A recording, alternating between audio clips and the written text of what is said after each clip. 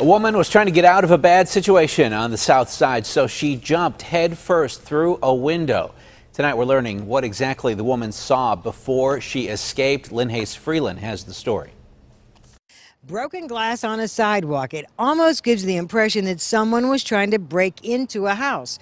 But last night at 112 at 16th Street here on the south side, someone was literally breaking out. Pittsburgh police say a woman identified in court papers as Kelsey Ronan flagged them down, saying she had just escaped from inside a local home. Ronan told police she had been inside this house with three white males when she noticed padlocks on the doors.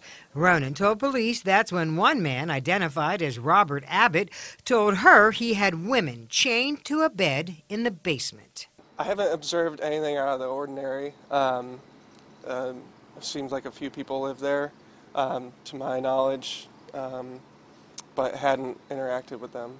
Ronan told police, fearing for her life, she ran down the stairs and tried to get out the front door, but there was a deadbolt and she couldn't open it.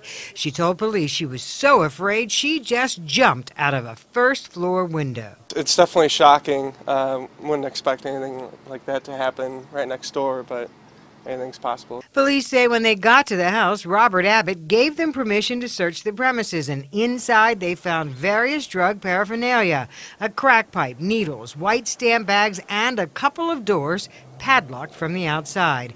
Abbott was charged with possession, possession with intent to deliver, and recklessly endangering another person. Ronan was taken to a local hospital, listed in stable condition, with lacerations on the face and arms. Lynne Hayes-Freeland, KDKA TV News.